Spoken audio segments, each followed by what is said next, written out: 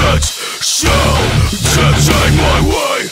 No more apologies, no more mistakes, no more conscience.